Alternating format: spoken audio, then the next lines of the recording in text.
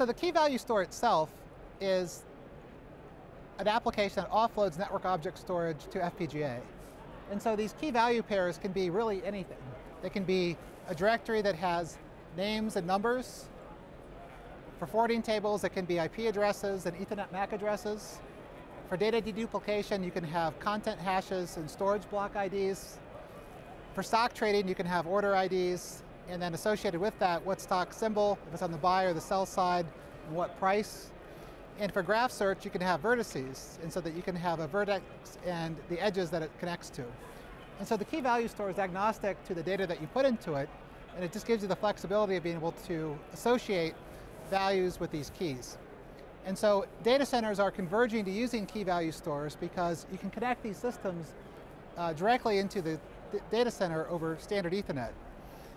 But if you implement key value stores in software, the challenges you have are that the operating system delays packets and limits throughput, and also that individual core processing is limited because when there's a burst of events, that these events get processed sequentially by the cores, and so that in time there's a delay between processing these bursts.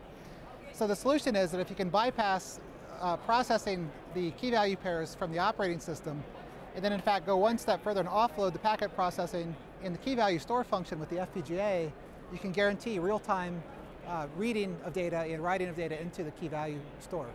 So Algo-Logic, we use key value stores to store data over Ethernet. And this gets used in a number of different applications. Uh, we do a lot of work with low latency finance firms where we do trading and compliance.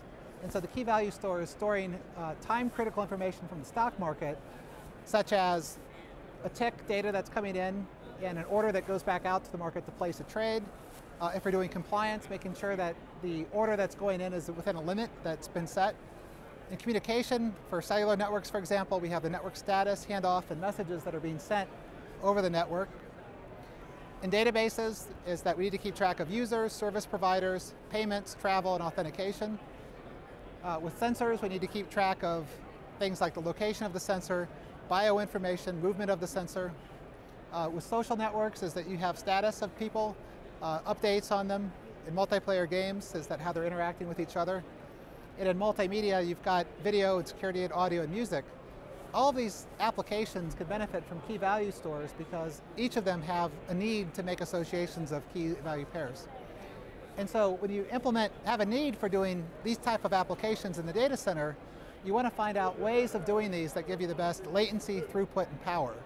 And so this FPGA key value store lets you scale up the performance of the application by scaling up the latency, or scaling the latency to be its lowest possible, scaling up the throughput to be tens of gigabits to 100 gigabits per second, and scaling down the power to use the least amount of energy as possible.